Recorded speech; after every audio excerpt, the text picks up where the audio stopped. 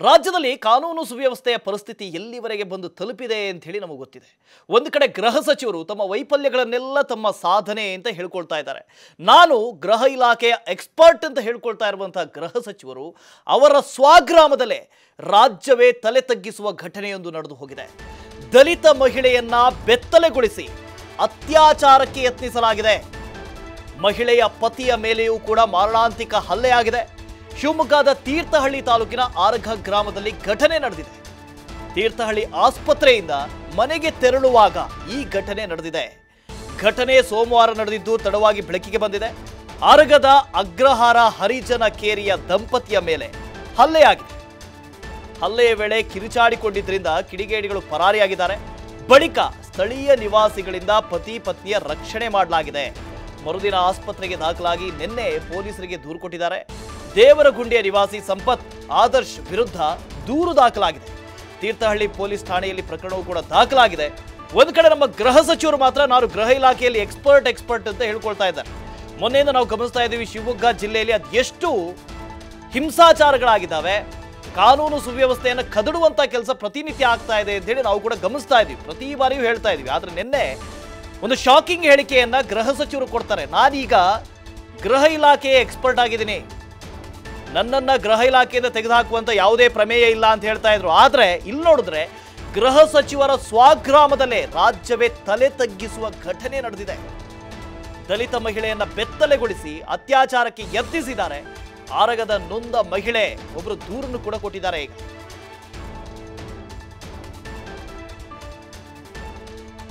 ದಂಪತಿಗಳು ಆರಗ ಹತ್ತಿರ ಮನೆಗೆ ಹೋಗ್ತಾ ಇದ್ರು. ಪ್ರಕರಣ ಸಂಬಂಧ ಶಿವಮೊಗ್ಗ ಎಸ್ಪಿ ಕೃಷ್ಣ ಪ್ರಸಾದ್ ಸ್ಪಷ್ಟನೆಯನ್ನು ಕೊಟ್ಟಿದ್ದಾರೆ. ಅತ್ಯಾಚಾರ ಯತ್ನಕ್ಕೆ ಸಂಬಂಧ ಒಂದು ಎಫ್ಐಆರ್ ಕೂಡ ದಾಖಲಾಗಿದೆ. ಆರಗದ ನೊಂದ ಮಹಿಳೆ ಒಬ್ಬರು ದೂರು ಕೊಟ್ಟಿದ್ದಾರೆ. ದಂಪತಿಗಳು ಆರಗ ಹತ್ತಿರದ ಮನೆಗೆ ಹೋಗ್ತಾ ಇದ್ರು. ಸಂಪತ್ ಆದರ್ಶ ದಂಪತಿ ವಿರುದ್ಧ ಈ ಹಿಂದೆ ಜಗಳವಾಡಿದ್ರು ಸಂಪತ್ ಮತ್ತು ಆದರ್ಶ್ ಇದಾರಲ್ಲ, ಅವರು ಈ ದಂಪತಿಯ ವಿರುದ್ಧ ಈ ಹಿಂದೆ ಜಗಳವಾಡಿದ್ರು. I P C section three four one ಮುನ್ನೂರ ಇಪ್ಪತ್ತ್ಮೂರು ಮುನ್ನೂರ ಐವತ್ತ್ಮೂರು ಮುನ್ನೂರ ಐವತ್ನಾಲ್ಕು ಎ ಮುನ್ನೂರ ಐವತ್ನಾಲ್ಕು ಬಿ ಮುನ್ನೂರ ಐನೂರ ಆರರ ಅಡಿಯಲ್ಲಿ ಪ್ರಕರಣ ಈಗಾಗಲೇ ದಾಖಲಾಗಿದೆ. ನೋಡಿ, ರಾಜ್ಯದಲ್ಲಿ ಕಾನೂನು ಸುವ್ಯವಸ್ಥೆ ಕತೆ ಎಲ್ಲಿವರೆಗೆ ಬಂದಿದೆ ಅಂತ ಹೇಳಿ ಇದರಲ್ಲಿ ಗೊತ್ತಾಗುತ್ತೆ. ಹಾಡ ಹಗಲೆ, ಯಾರೋ ಮನೆಗೆ ಹೋಗ್ತಾ ಇದ್ರಂತೆ, ಅದು ಯಾವುದೋ ಹಳ್ಳಿಯಲ್ಲಿ. ಗೃಹ ಸಚಿವರ ತವರು ಗ್ರಾಮದಲ್ಲಿ, ಬೇರೆ ಎಲ್ಲಾದರೂ ಆಗಿದ್ರ ಒಂದು ಕತೆ. ಆದರೆ, ನಮ್ಮ ರಾಜ್ಯದ ಘನತೆವೆತ್ತ ಗೃಹ ಸಚಿವರ ತವರು ಗ್ರಾಮದಲ್ಲಿ ಈ ಘಟನೆ ನಡೆದಿರುವಂಥದ್ದು. ಪಾಪ ದಂಪತಿ ಹೋಗ್ತಾ ಇದ್ರು. ದಂಪತಿ ಮನೆಗೆ ಹೋಗ್ತಾ ಇದ್ರು, ಮನೆಗೆ ಹೋಗ್ತಾ ಇದ್ದಂಥ ಸಂದರ್ಭದಲ್ಲಿ ಹೀಗಾಗಿದೆ. ಎಸ್ ಪಿ ಲಕ್ಷ್ಮೀಪ್ರಸಾದ್ ಅವರು ಇದ್ರ ಬಗ್ಗೆ ಸ್ಪಷ್ಟನೆಯನ್ನು ಕೂಡ ಕೊಟ್ಟಿದ್ದಾರೆ. ಮಹಿಳೆಯ ಪತಿಯ ಮೇಲೆಯೂ ಕೂಡ ಹಲ್ಲೆ ಆಗಿದೆ. ಶಿವಮೊಗ್ಗದ ತೀರ್ಥಹಳ್ಳಿ ತಾಲೂಕಿನ ಅರಗ ಗ್ರಾಮದಲ್ಲಿ ನಡೆದಿರುವಂಥ ಘಟನೆ, ಅರಗ ಜ್ಞಾನೇಂದ್ರ ಅವರು ಮಾತ್ರ ಪದೇ ಪದೇ ಹೇಳ್ತಾರೆ, ನಮ್ಮದು ಸರ್ಕಾರ ಇದೆಯಲ್ಲ, ಇದು ಕಾನೂನು ಸುವ್ಯವಸ್ಥೆಯನ್ನು ಕಾಪಾಡ್ತಾ ಇರುವಂಥ ಸರ್ಕಾರ. ಈ ಹಿಂದೆ ನೀವು ಗೊತ್ತಿದೆಯಾ? ಯಾವುದಾದ್ರೂ ತನಿಖೆ ಆಗಿದೆಯಾ? ಎಲ್ಲಾದರೂ? ಇಲ್ಲ. ಈಗ ತನಿಖೆ ಆಗ್ತಾ ಇದೆ. ಯಾಕೆ? ನಾನಿದ್ದೀನಿ ಸಚಿವ. ನಾನು ಎಕ್ಸ್ಪರ್ಟ್ ಇದ್ದೀನಿ ಇದರಲ್ಲಿ ಅಂಥೇಳಿ ಅವ್ರಿಗೆ ಅವರೇ ಹೇಳ್ಕೊಳ್ತಾರೆ. ಆದರೆ ಇಡೀ ರಾಜ್ಯದ ಕಾನೂನು ಸುವ್ಯವಸ್ಥೆ ಬಿಟ್ಬಿಡಿ. ಇಡೀ ರಾಜ್ಯದ ಕಾನೂನು ಸುವ್ಯವಸ್ಥೆ ಬಿಟ್ಬಿಡಿ. ನಿಮ್ಮ ಗ್ರಾಮದ ಕಾನೂನು ಸುವ್ಯವಸ್ಥೆಯನ್ನು ಕಾಪಾಡೋದಕ್ಕೆ ನಿಮ್ಮ ಕೈಯಿಂದ ಆಗ್ತಾ ಇಲ್ವಲ್ರಿ? ಇನ್ನು ಏನು ಮಾಡ್ತಾ ಇದ್ದೀರಿ ನೀವು? ಸಚಿವರಾಗಿ ಏನು ಮಾಡ್ತೀರಿ? ನಿಮ್ಮನ್ನು ಆಯ್ಕೆ ಮಾಡಿದಂಥವರು ಜನಯಾತ್ರೆಯನ್ನು ಹೊಟ್ಟಿದ್ದಾರೆ ಅಲ್ಲಿ. ಪಾದಯಾತ್ರೆ ಮಾಡ್ತಾ ಇದ್ದಾರೆ. ನೀವು ನೋಡಿದ್ರೆ ಬೆಂಗಳೂರಲ್ಲಿ ಕೂತ್ಕೊಂಡು ಎಲ್ಲ ಸರಿ ಇದೆ, ಎಲ್ಲ ಸರಿ ಇದೆ ಅಂತ ಹೇಳ್ತಾ ಇದ್ದೀರಲ್ಲ, ಒಬ್ಬ ದಲಿತ ಮಹಿಳೆಯನ್ನು ಬೆತ್ತಲೆಗೊಳಿಸಿ ಅತ್ಯಾಚಾರಕ್ಕೆ ಯತ್ನಿಸಲಾಗಿದೆ. ನಿಮ್ಮ ಪೊಲೀಸ್ ಇಲಾಖೆ ಏನು ಮಾಡ್ತಾ ಇದೆ? ಒಬ್ರಿಗಾದ್ರೂ ಭಯ ಅನ್ನುವಂಥದ್ದು ಇದೆಯಾ? ಕಾನೂನಿನ ಬಗ್ಗೆ, ಪೊಲೀಸರ ಬಗ್ಗೆ ಒಬ್ರಿಗಾದ್ರೂ ಭಯ ಇದೆಯಾ? ನೋ ವ್ಯಾರ್ ಒಬ್ರಿಗೂ ಇಲ್ಲ. ಶಿವಮೊಗ್ಗದಲ್ಲಿ ಏನಾಯಿತು? ಪದೇ ಪದೇ ಪುಂಡರು ಪೋಖರಿಗಳು ಓಡಾಡ್ತಾ ಇದ್ದಾರೆ ಶಿವಮೊಗ್ಗದಲ್ಲಿ. ನಿಮ್ಮ ಪೊಲೀಸ್ ಇಲಾಖೆ ಏನು ಮಾಡ್ತಾ ಇದೆ? ನಿಮ್ಮ ಸ್ವಗ್ರಾಮದಲ್ಲಿ ಇಂಥದ್ದೊಂದು ಕೃತ್ಯ ನಡೆದಿದೆ. ನೀವೇನು ಮಾಡ್ತಾ ಇದ್ದೀರಿ? ಒಂದಾದರೂ ಹೇಳಿಕೆಯನ್ನು ಕೊಟ್ಟರೆ ನೀವು? ಇದರ ವಿರುದ್ಧವಾಗಿ ಕ್ರಮನಾದರೂ ಏನಾಯಿತು? ಹರಿಜನ ಕೇರಿಯ ದಲಿತರ ಮೇಲೆ ಇವತ್ತಿಗೂ ಕೂಡ ದೌರ್ಜನ್ಯ ಆಗ್ತಾ ಇದೆ ಅಂತ ಹೇಳಿದ್ರೆ, ಗೃಹ ಸಚಿವರ ತವರು ಗ್ರಾಮದಲ್ಲಿ ಆಗ್ತಾ ಇದೆ ಅಂತ ಹೇಳಿದ್ರೆ, ಮಾತೆತ್ತಿದ್ರೆ ಉತ್ತರ ಪ್ರದೇಶ ಮಾಡಲ್, ಮಾತೆತ್ತಿದ್ರೆ ಉತ್ತರ ಪ್ರದೇಶ ಮಾಡಲ್, ಯೋಗಿ ಮಾಡಲ್ ಅಂತಿರಲ್ಲ, ಇದಾ ನಿಮ್ಮ ಯೋಗಿ ಮಾಡಲ್? ಉತ್ತರ ಪ್ರದೇಶದಲ್ಲೂ ಕೂಡ ಇದೇ ಆಗ್ತಾ ಇರೋದು. ಅಲ್ಲಿನ ಕಾನೂನು ಸುವ್ಯವಸ್ಥೆಯ ಮಾಡೆಲ್ ಕೂಡ ಇದೆ. ಪ್ರತಿನಿತ್ಯ ಅತ್ಯಾಚಾರ, ಪ್ರತಿನಿತ್ಯ ಗ್ಯಾಂಗ್ ರೇಪ್ಗಳು, ಪ್ರತಿನಿತ್ಯ ದಳ್ಳೂರಿ, ಎಲ್ಲ ಇದೇ ಆಗ್ತಾ ಇರೋದು. ಅದೇ ಮಾಡಲನ್ನು ಇಲ್ಲೂ ಕೂಡ ತರ್ತಾ ಇದ್ದೀರಾ ನೀವು? ಮಾತೆತ್ತರೆ ಬುಲ್ಡೋಸರು ಬುಲ್ಡೋಸರು. ಬುಲ್ಡೋಸರ್ ಬಿಟ್ಬಿಡ್ರಿ ಮೊದಲು. ಕಾನೂನು ಸುವ್ಯವಸ್ಥೆಯನ್ನು ಸರಿ ಮಾಡುವಂಥ ಕೆಲಸ ಮಾಡಿ ಫಸ್ಟು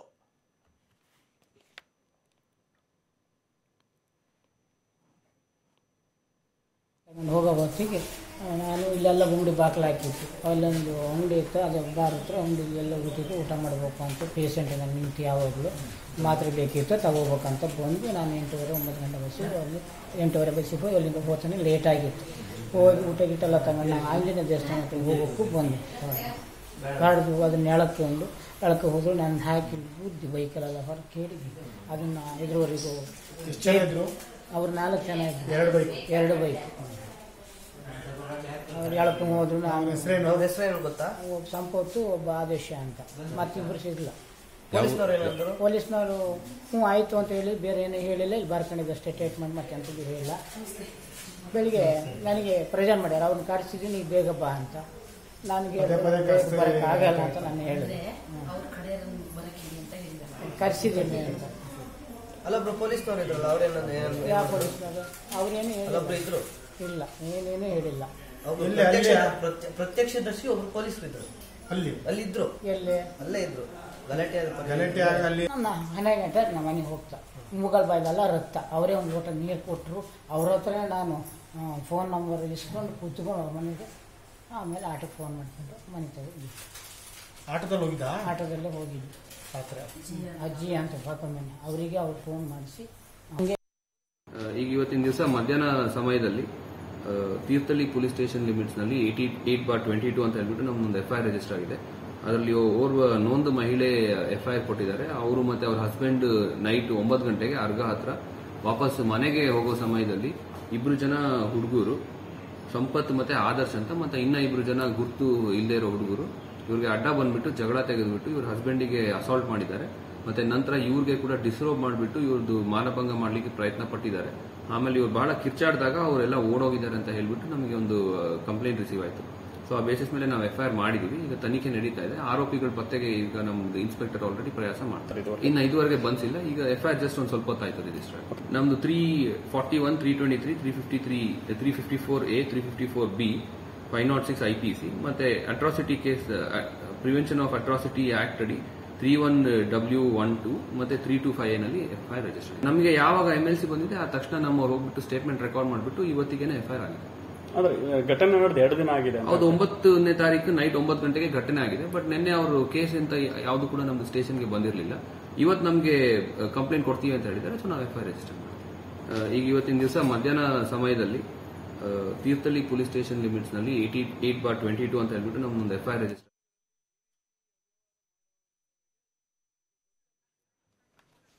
ನವೀನ್ ಇದ್ರ ಬಗ್ಗೆ ಹೆಚ್ಚಿನ ಡೀಟೇಲ್ಸ್ ಅನ್ನು ಕೊಡ್ದು ಹೋಗ್ತಾರೆ. ಸೊ ನವೀನ್, ನಾವು ಗಮನಿಸ್ತಾ ಇದೀವಿ, ಪದೇ ಪದೇ ಶಿವಮೊಗ್ಗ ಜಿಲ್ಲೆಯಲ್ಲಿ ಕಾನೂನು ಸುವ್ಯವಸ್ಥೆ ಹದಗೆಡ್ತಾ ಇದೆ. ಪ್ರತಿನಿತ್ಯ ನೋಡ್ತಾ ಇದ್ದೀವಿ ಅದೂ ಕೂಡ ನಮ್ಮ ಗೃಹ ಸಚಿವರ ತವರು ಗ್ರಾಮದಲ್ಲಿ ಅತ್ಯಾಚಾರಕ್ಕೆ ಯತ್ನಿಸಲಾಗಿದೆ ಅಂತ ಹೇಳಿದ್ರೆ ಏನು ಕತೆ? ಯಾರಿಗಾದ್ರೂ ಪೊಲೀಸರ ಮೇಲೆ, ಪೊಲೀಸ್ ಇಲಾಖೆ ಮೇಲೆ ಭಯಭಕ್ತಿ ಇದೆಯಾ? ಏನು ನಡೀತಾ ಇದೆ ಜಿಲ್ಲೆಯಲ್ಲಿ ಅಂತ? ಏನು ಮಲೆನಾಡು ಶಿವಮೊಗ್ಗ ಜಿಲ್ಲೆಯಲ್ಲಿ ಕಾನೂನು ಸುವ್ಯವಸ್ಥೆ ಸರಿ ಇಲ್ಲ ಅನ್ನೋ ಘಟನೆಗಳು ಕಳೆದ ಫೆಬ್ರವರಿಯಿಂದ ಕೂಡ ನಡೀತಾ ಇರುವಂತದ್ದು ಈಗಾಗಲೇ ಕಳೆದ ಕೆಲವು ದಿನಗಳಿಂದ ಕೂಡ ಒಂದಷ್ಟು ಹಲ್ಲೆಗಳು, ದರೋಡೆಗಳು ಆತರ ಪ್ರಕರಣಗಳು ನಡೀತಾ ಇದ್ವು. ಇದೀಗ ಅದರ ನಡುವೆ ಇಡೀ ರಾಜ್ಯವೇ ತಲೆ ತಗ್ಗಿಸುವಂತಹ ಘಟನೆ. ಅದರಲ್ಲೂ ಕೂಡ ಗೃಹ ಸಚಿವ ಆರಗ ಜ್ಞಾನೇಂದ್ರ ಅವರ ಸ್ವಗ್ರಾಮದಲ್ಲಿ ಘಟನೆ ನಡೆದಿರುವಂತದ್ದು ದಲಿತ ದಂಪತಿಯನ್ನ ಥಳಿಸಿ ಆಕೆ ಏನು ದ ಪತ್ನಿಯನ್ನ ಬೆತ್ತಲಗೊಳಿಸಿ ಅತ್ಯಾಚಾರಕ್ಕೆ ಯತ್ನ ಮಾಡಿರುವಂತಹ ಘಟನೆ ಕೂಡ ನಡೆದಿರುವಂತದ್ದು ಶಿವಮೊಗ್ಗ ಜಿಲ್ಲೆಯ ಚಿತ್ತಳಿ ತಾಲೂಕಿನ ಅರಗ ಗ್ರಾಮದಲ್ಲಿ ಈ ಒಂದು ಘಟನೆ ನಡೆದಿರುವಂತದ್ದು ಸೋಮವಾರ ತಡ ಏನು ಒಂಬ ರಾತ್ರಿ ಒಂಬತ್ತು ಗಂಟೆ ವೇಳೆಗೆ ಆ ಒಂದು ಹರಿಜನ ಶೂ ಏನು ಅರ್ಗ ಅಗ್ಗಾರ ಹರಿಜನ ಕೆರೆಯ ದಂಪತಿ ತೀರ್ಥಹಳ್ಳಿ ಆಸ್ಪತ್ರೆಯಿಂದ ಬರ್ತಾ ಇರ್ತಾರೆ. ರಾತ್ರಿ ವೇಳೆ ಬರುವ ಸಂದರ್ಭದಲ್ಲಿ ನಾಲ್ಕು ಜನರ ತಂಡ ಹಾಕಿ ಅವರ ಮೇಲೆ ಒಂದು ಹಲ್ಲೆಯನ್ನ ಮಾಡುತ್ತೆ. ಜೊತೆಗೆ ಅವ್ರನ್ನ ಎಳ್ಕೊಂಡು ಹೋಗೋ ಕೆಲಸವನ್ನ ಮಾಡ್ತಾರೆ. ಆ ದಂಪತಿ ಮೇಲೆ ಮನಸೋ ಇಚ್ಛೆ ಹಲ್ಲೆಯನ್ನ ಮಾಡ್ತಾರೆ. ಆ ಸಂದರ್ಭದಲ್ಲಿ ನೊಂದ ಮಹಿಳೆಯ ಪತಿ ದೂರದಲ್ಲಿ ಹೋಗಿ ಬೀಳ್ತಾರೆ ಪ್ರಜ್ಞೆ ತಪ್ಪಿ ಬೀಳ್ತಾರೆ. ಆ ನಂತರದಲ್ಲಿ ಆಕೆಯನ್ನ ಎಳೆದುಕೊಂಡು ಪಕ್ಕದ ರಬ್ಬರ್ ಪ್ಲಾಂಟೇಶನ್ ಒಳಗೆ ಎಳ್ಕೊಂಡು ಹೋಗಿ ಆಕೆಯ ಜೊತೆ ಅಸಭ್ಯವಾಗಿ ವರ್ತಿಸಿದಂತೆ ಆಕೆ ಮೇಲೆ ಅತ್ಯಾಚಾರಕ್ಕೆ ಕೂಡ ಯತ್ನವನ್ನ ಮಾಡ್ತಾರೆ. ಹೀಗಾಗಿ ನೊಂದ ಮಹಿಳೆ ಅವತ್ತು ಏನು ಆಕೆ ಮತ್ತೆ ಆಕೆ ಪತಿ ತಡ ನಂತರ ಕೂಕ ಕಿರ್ಚ್ಕೊಳ್ತಾರೆ. ಆ ಸಂದರ್ಭದಲ್ಲಿ ಸ್ಥಳೀಯರು ಬಂದು ಅವ್ರನ್ನ ರಕ್ಷಣೆ ಮಾಡಿ ಮನೆಗೆ ಕಳಿಸ್ತಾರೆ. ಆ ನಂತರದಲ್ಲಿ ಮರುದಿನ ಬಂದು ಅವರು ಹಾಸ್ಪಿಟ್ಲಿಗೆ ದಾಖಲಾಗ್ತಾರೆ. ನಿನ್ನೆ ಬಂದು ತಿತ್ತಳ್ಳಿ ಠಾಣೆಗೆ ಆಕೆ ನೊಂದ ಮಹಿಳೆ ಮತ್ತು ಆಕೆ ಪತಿ ದೂರನ ಕೊಟ್ಟಿರುವಂತದ್ದು ನಮ್ಮ ಅವ್ ಏನು ಅರ್ಗದ ಇಬ್ಬರು ಇಬ್ಬರು ಈಗಾಗಲೇ ಅವ್ರು ಇಬ್ರು ಕೂಡ ಐಡೆಂಟಿಫಿಕೇಶನ್ ಅನ್ನ ಮಾಡಿರುವಂತದ್ದು ದೇವರಗುಂಡಿಯ ಸಂಪತ್ ಮತ್ತೆ ಆದರ್ಶ್ ಎಂಬುವರು ಜೊತೆಗೆ ಇನ್ನಿಬ್ಬರ ಪರಿಚಯ ಇಲ್ಲ ಅಂತೇಳಿ ಈಗಾಗಲೇ ದೂರಿನಲ್ಲಿ ಕೂಡ ದಾಖಲು ಮಾಡಿದ್ದಾರೆ. ಹಾಗಾಗಿ ತೀರ್ಥಹಳ್ಳಿ ಠಾಣೆಯಲ್ಲಿ ಈ ಒಂದು ಪ್ರಕರಣಕ್ಕೆ ಸಂಬಂಧಪಟ್ಟ ಈಗಾಗಲೇ ಪ್ರಕರಣ ಏನು ಠಾಣೆಯಲ್ಲಿ ಈಗಾಗಲೇ ಪ್ರಕರಣ ಕೂಡ ದಾಖಲಾಗಿರುವುದು ಪ್ರಮುಖವಾಗಿ ಗೃಹ ಸಚಿವರ ತವರು ಕ್ಷೇತ್ರದಲ್ಲಿ ಈ ರೀತಿಯಾಗಿ ಘಟನೆ ನಡೆದ್ರು ನವೀನ್ ನವೀನ್ ಒಂದು ಕಡೆ ಒಂದು ಕಡೆ ಗೃಹ ಸಚಿವರು ಹೇಳ್ತಾ ಹೋಗ್ತಾರೆ ನಾನು ಗೃಹ ಇಲಾಖೆಯಲ್ಲಿ ಎಕ್ಸ್ಪರ್ಟ್ ಇದ್ದೀನಿ ರಾಜ್ಯದಲ್ಲಿ ಕಾನೂನು ಸುವ್ಯವಸ್ಥೆ ಸರಿ ಇದೆ ಅಂತ ಹೇಳ್ತಾರೆ. ಒಂದು ಕಡೆ ನೋಡಿದ್ರೆ ಅವರ ಗ್ರಾಮದಲ್ಲೇ ಸರಿ ಇಲ್ವಲ್ರಿ? ಅವ್ರ ಗ್ರಾಮದಲ್ಲೇ ಕಾನೂನು ಸುವ್ಯವಸ್ಥೆ ಇಲ್ಲ. ಅವ್ರ ಗ್ರಾಮದಲ್ಲೇ ನಮ್ಮ ಗ್ರಾಮದವರೇ ಗೃಹ ಸಚಿವರು. ಹಾಗಾದ್ರೂ ಒಂದು ಭಯ ಬೇಕಲ್ವಾ? ಅದೂ ಇಲ್ವಲ್ಲ? ಆ, ಖಂಡಿತವಾಗ್ಲೂ ವಾಸುದೇವ್, ಯಾಕಂದ್ರೆ ಒಂದು ಕಡೆ ಗೃಹ ಇಲಾಖೆ ಕಳೆದ ಕೆಲವು ತಿಂಗಳಿಂದ ಕೂಡ ನಾವು ನೋಡ್ತಾ ಇರ್ಬೋದು, ಎಷ್ಟೊಂದು ಹಗರಣಗಳಿರ್ಬೋದು, ಒಂದಷ್ಟು ಘಟನೆಗಳು ನಡೀತಾ ಇದೆ. ಇದರ ನಡುವೆ ಗೃಹ ಸಚಿವರ ತವರು ಗ್ರಾಮದಲ್ಲಿ ಈ ಒಂದು ಘಟನೆ ನಡೆದಿರುವಂತದ್ದು ಖಂಡಿತವಾಗ್ಲೂ ಕೂಡ ನಾಚಿಕೆಗೇಡಿನ ಸಂಗತಿ ಅಂತ ಹೇಳ್ಬೋದು. ಯಾಕಂದ್ರೆ ಗೃಹ ಸಚಿವರ ತವರು ಗ್ರಾಮದಲ್ಲೇ ಅವರ ಇಲಾಖೆಯ ಬಗ್ಗೆ ಒಂದಷ್ಟು ಭಯ ಮತ್ತೆ ಏನು ಭಕ್ತಿ ಇಲ್ಲ ಅಂತ ಆದ್ರೆ ಖಂಡಿತವಾಗ್ಲೂ ಕೂಡ ರಾಜ್ಯದಲ್ಲಿ ಇವರು ಯಾವ ರೀತಿಯಾಗಿ ಸಮರ್ಥವಾಗಿ ಆಡಳಿತವನ್ನ ಜೊತೆಗೆ ರಾಜ್ಯವನ್ನ ನಿಭಾಯಿಸಿರೋ ಪ್ರಶ್ನೆ ಕೂಡ ಇದೀಗ ಎದುರಾಗುವಂತದ್ದು ಹಾಗಾಗಿ ಕೂಡ ಈ ಒಂದು ದಂಪತಿ ಮೇಲೆ ಈಗಾಗಲೇ ಏನು ಹಲ್ಲೆಯನ್ನ ಮಾಡಿದ್ರೆ ಆಕೆ ಏನು ನೊಂದ ಮಹಿಳೆ ಮೇಲೆ ಅತ್ಯಾಚಾರಕ್ಕೆ ಯತ್ನವನ್ನ ಮಾಡಿದ್ರೆ ಹೀಗಾಗಿ ದೂರನ್ನ ಕೂಡ ಕೊಟ್ಟಿದ್ದಾರೆ. ಪೊಲೀಸರು ಕೂಡ ಈಗಾಗಲೇ ಕ್ರಮವನ್ನ ಏನು ಆರು ನಾಲ್ಕು ಜನರಲ್ಲಿ ಈಗಾಗಲೇ ಇಬ್ಬರನ್ನ ಆಕೆ ಸಚಿವರು ಅದನ್ನೇ ಹೇಳೋದು. ಸಚಿವರಿಗೂ ಗೊತ್ತಾಗ್ಬಿಟ್ರೆ ಈ ಪ್ರಕರಣ ಹಿಂಗಾಗಿದೆ ಅಂತ ಗೊತ್ತಾಗ್ಬಿಟ್ರೆ ಅವರು ಅದನ್ನೇ ಹೇಳೋದು. ತನಿಖೆ ಮಾಡ್ತೀವಿ ಅವ್ರಿಗೆ ತಕ್ಕ ಶಿಕ್ಷೆ ಕೊಡ್ತೀವಿ. ಆದರೆ ಈ ಕೃತ್ಯ ಆಗೋ ಮುಂಚೆ ಅವ್ರಿಗೆ ಭಯ ಬೇಕಲ್ವಾ? ಕೇವಲ ತನಿಖೆ ಮಾಡ್ತೀವಿ ತನಿಖೆ ಮಾಡ್ತೀವಿ ಅಂತ ಕೂತ್ಕೊಂಡ್ಬಿಟ್ರೆ ಎಲ್ಲಿವರೆಗೆ ತನಿಖೆ ಮಾಡ್ತಾರೆ ಇವರು? ಮಾತೆತ್ತರೆ ಉತ್ತರ ಪ್ರದೇಶ ಮಾಡಲ್ ಅಂತಾರೆ, ಮಾತೆತ್ತರೆ ಬುಲ್ಡೋಸರ್ ಅಂತಾರೆ, ಉತ್ತರ ಪ್ರದೇಶದ ಕಾನೂನು ಸುವ್ಯವಸ್ಥೆಯನ್ನು ಇಲ್ಲಿ ತರೋದಕ್ಕೆ ಹೊರಟಿದ್ದಾರೆ ಇವರು.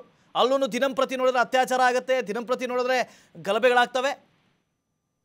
ಖಂಡಿತವಾಗ್ಲೂ ವಾಸುದೇವ್. ಯಾಕಂದ್ರೆ ಕಳೆದ ಕೆಲವು ತಿಂಗಳಿಂದ ಕೂಡ ಉತ್ತರ ಪ್ರದೇಶ ಮಾದರಿಯಲ್ಲಿ ಒಂದಷ್ಟು ಏನು ಡೆಮಾಲಿಶ್ ಮಾಡದಿರ್ಬೋದು, ಈ ರೀತಿಯಾಗಿ ಒಂದಷ್ಟು ಕಾನೂನುಗಳನ್ನು ತರ್ತೀವಿ ಅಂತ ಹೇಳ್ತಾರೆ. ಆದ್ರೆ ಇರುವ ಕಾನೂನನ್ನೇ ಬಿಗಿಗೊಳಿಸಿ ಇಲ್ಲಿ ಒಂದಷ್ಟು ಕಾನೂನು ಸುವ್ಯವಸ್ಥೆಯನ್ನ ಕಾಪಾಡೋ ಕೆಲಸವನ್ನ ಗೃಹ ಸಚಿವರು ಅಥವಾ ರಾಜ್ಯ ಸರ್ಕಾರ ಮಾಡಬೇಕಾಗುತ್ತೆ. ಯಾಕಂದ್ರೆ ಯಾವುದೇ ಒಂದು ಪ್ರಕರಣದ ಸಂದರ್ಭದಲ್ಲಿ ಇವರು ನಾವು ತನಿಖೆ ನಡೀತಾ ಇದೆ, ವಿಚಾರಣೆನ ಮಾಡ್ತೀವಿ, ಮತ್ತೆ ಆರೋಪಿಗಳು ಮತ್ತೆ ಬೇಲ್ಮೆ ಹೊರಗೆ ಬರ್ತಾರೆ. ಈ ರೀತಿಯ ಕೃತ್ಯಗಳು ಮತ್ತೆ ಮತ್ತೆ ನಡೀತಾ ಇರುವಂತದ್ದು ಹೀಗಾಗಿ ಕೂಡ ಏನು ಪ್ರಕರಣಗಳು ನಡೀತಾ ಇದೆ ಒಂದಷ್ಟು ಪೊಲೀಸ್ ಇಲಾಖೆ ಬಗ್ಗೆ ಇರ್ಬೋದು, ರಾಜ್ಯದ ಗೃಹ ಇಲಾಖೆ ಬಗ್ಗೆ ಇರ್ಬೋದು, ಭಯ ಬರುವಂತ ಕಾನೂನುಗಳನ್ನ ಸರ್ಕಾರ ಮಾಡಬೇಕು. ಜೊತೆಗೆ ಜೊತೆಗೆ ಕ್ರಮಗಳನ್ನು ಕೂಡ ಕೈಗೊಳ್ಳಬೇಕಾಗುತ್ತೆ ಈಗ ಈ ನಿಟ್ಟಿನಲ್ಲೂ ಕೂಡ ಈ ತಿತ್ತಳಿ ಪ್ರಕರಣವನ್ನ ಗಂಭೀರವಾಗಿ ರಾಜ್ಯ ಸರ್ಕಾರ ಪರಿಗಣಿಸಬೇಕಾಗುತ್ತೆ. ತಕ್ಷಣವೇ ಈಗಾಗಲೇ ನೊಂದ ಮೇಲೆ ದೂರನ್ನ ಕೊಟ್ಟು ಇಬ್ಬರ ಹೆಸರನ್ನ ಕೂಡ ಈಗಾಗಲೇ ಅದು ಹೇಳಿರುವಂತದ್ದು ಹಾಗಾಗಿ ತಕ್ಷಣ ಅವರನ್ನ ಬಂಧನ ಮಾಡಬೇಕು. ಜೊತೆಗೆ ಯಾವ ಕಾರಣಕ್ಕಾಗಿ ಈ ರೀತಿಯ ಘಟನೆಗಳು ನಡೆದಿದೆ ಅವರ ವಿರುದ್ಧ ಕೂಡ ಆ ಇನ್ನುಳಿದ ಇಬ್ಬರು ಆರೋಪಿಗಳನ್ನ ಕೂಡ ತಕ್ಷಣವಾಗಿ ಬಂಧಿಸಬೇಕಾಗುತ್ತೆ ವಾಸುದೇವ್. ಈಗ ಸದ್ಯಕ್ಕೆ ಎಷ್ಟು ಜನರ ಬಂಧನ ಆಗಿದೆ? ಯಾರನ್ನಾದ್ರೂ ಬಂಧಿಸಿದಾರಾ? ಆ ಪ್ರಮುಖವಾಗಿ ಈ ಒಂದು ಪ್ರಕರಣಕ್ಕೆ ಏನು ತೀರ್ಥಹಳ್ಳಿಯ ಪ್ರಕರಣಕ್ಕೆ ಸಂಬಂಧಪಟ್ಟಾಗಿ ಮಹಿಳೆ ನಿನ್ನೆ ಮಧ್ಯಾಹ್ನ ದೂರು ಕೊಟ್ಟಿರುವಂತದ್ದು ಹಾಗಾಗಿ ಪೊಲೀಸರು ನಿನ್ನೆ ಸಂಜೆ ವೇಳೆಗೆ ಈಗಾಗಲೇ ಎಫ್ಐಆರ್ ಅನ್ನು ಕೂಡ ದಾಖಲು ಮಾಡ್ಕೊಂಡಿದ್ದಾರೆ. ತೀರ್ಥಹಳ್ಳಿ ಠಾಣೆ ಪೊಲೀಸ್ ಈಗಾಗಲೇ ಈಗಾಗಲೇ ಏನು ನಾಲ್ಕು ಇಬ್ಬರು ನಾಲ್ಕು ಜನರ ವಿರುದ್ಧ ಈಗಾಗಲೇ ಕಮ್ಮಿ ಹುಡುಕೋ ಕೆಲಸವನ್ನ ಕೂಡ ಮಾಡ್ತಿದ್ದಾರೆ. ಇವತ್ತು ಅಥವಾ ನಾಳೆ ಒಳಗಾಗಿ ಈಗಾಗಲೇ ಏನು ಇಬ್ಬ ಎಲ್ಲರನ್ನೂ ಕೂಡ ಬಂಧನ ಮಾಡ್ತೀವಿ ಅಂತ ಎಸ್ ಪಿ ಅವರು ಕೂಡ ಈಗಾಗಲೇ ಏನು ಮಾಹಿತಿಯನ್ನ ಕೂಡ ಕೊಟ್ಟಿರುವಂತದ್ದು ಹಾಗಾಗಿ ಪ್ರಕರಣ ಈಗ ತನಿಖೆ ಹಂತದಲ್ಲಿ ಕೂಡ ಇರುವಂತದ್ದು ವಾಸುದೇವ್. ಇಡೀ ಪ್ರಕರಣದ ಬಗ್ಗೆ ಸಚಿವರು ಗೊತ್ತಾಗಿದೆಯಾ ಈಗ? ಅವ್ರ ಗಮನಕ್ಕೆ ಬಂದಿದೆಯಾ? ಪ್ರಮುಖವಾಗಿ ಶಿವಮೊಗ್ಗ ಜಿಲ್ಲೆ ಘಟನೆ ಬಗ್ಗೆ ಈಗಾಗಲೇ ಸಚಿವರ ಗಮನಕ್ಕೆ ಈಗಾಗಲೇ ಹೋಗಿರುವಂತದ್ದು ಸಚಿವರು ಪ್ರಸ್ತುತ ಕಾರಣ- ಕಾರಣಕ್ಕಾಗಿ ಈಗಾಗಲೇ ಒಂದಷ್ಟು ಮಾಹಿತಿಯನ್ನು ಕೂಡ ಪಡ್ಕೊಂಡಿದ್ದಾರೆ. ಜೊತೆಗೆ ಇಲಾಖೆ ಅಧಿಕಾರಿಗಳು ಕೂಡ ಈ ಒಂದು ಘಟನೆ ಸಂಬಂಧಪಟ್ಟಂಗೆ ಸೂಚನೆ ಕೊಟ್ಟಿರುವಂತದ್ದು ತಕ್ಷಣ ಯಾರೇ ಇದ್ರು ಕೂಡ ಅವರನ್ನ ಅರೆಸ್ಟ್ ಮಾಡಬೇಕು, ಕ್ರಮವನ್ನು ಕೈಗೊಳ್ಳಿ ಅಂತ ಸೂಚನೆ ಕೂಡ ಕೊಟ್ಟಿರುವಂತದ್ದು Vasudev. Okay thank you thank you Naveen ಯಾರಿದ್ರು arrest ಮಾಡಿ, ಯಾರಿದ್ರು ಕಾನೂನು ಕ್ರಮ ಆಗುತ್ತೆ, ಎಷ್ಟು ದಿನ ಅಂತ ಮಾಡ್ತೀರಿ ಇದನ್ನ? ಘಟನೆ ನಡೆದ ನಂತರ ನೀವು ಅವ್ರಿಗೆ ಶಿಕ್ಷೆ ಕೊಟ್ಟು ಏನು ಪ್ರಯೋಜನ? ಘಟನೆ ಆಗದೆ ಇರುವಂತ ರೀತಿಯಲ್ಲಿ ತಡಿಬೇಕಲ್ವಾ? ಈ ಜವಾಬ್ದಾರಿ ಯಾರ್ದು? ಈ ಕೆಲಸ ಯಾರ್ದು? ಗೃಹ ಸಚಿವರದಲ್ವಾ? ನಿಮ್ಮ ತವರು ಗ್ರಾಮದಲ್ಲಿ ನಿಮಗೆ ಕಾನೂನು ಸುವ್ಯವಸ್ಥೆಯನ್ನು ಪಾಲಿಸೋದಕ್ಕಾಗ್ತಾ ಇಲ್ಲ, ಸರಿ ಮಾಡೋದಕ್ಕಾಗ್ತಾ ಇಲ್ಲ. ಇನ್ನು ರಾಜ್ಯದ ಬಗ್ಗೆ ಮಾತಾಡ್ತೀರಿ ನೀವು. ಇನ್ನು ದೇಶದಲ್ಲೂ ಕೂಡ ನನ್ನೇ ಗೃಹ ಸಚಿವ ಮಾಡಿ ಅಂತ ಹೇಳ್ಬಿಟ್ರೆ ಕಷ್ಟ.